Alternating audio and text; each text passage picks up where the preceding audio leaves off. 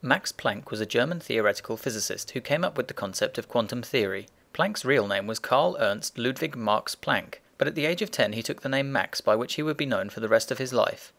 Planck was an excellent student at school, graduating early from high school at 17 years old, but he decided to study physics in 1874 at the University of Munich.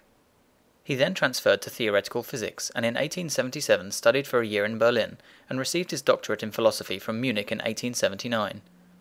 He then took various positions at universities in Germany until 1889, where he became a professor of theoretical physics at Berlin University until he retired in 1926. Planck's early work was on the subject of thermodynamics and radiation processes, but his most important work was on the distribution of energy in radiation spectrums. Planck worked out the relationship between energy and the frequency of radiation. This was a revolutionary discovery in physics, and it explained discrepancies that had been found between observed phenomenon and classical physics theory, his work is known as quantum theory, and for this work he received the Nobel Prize for Physics in 1918. Planck's work revolutionized the world of physics, and he was also known for his open opposition to the Nazi government's policies and treatment of the Jewish population in World War II.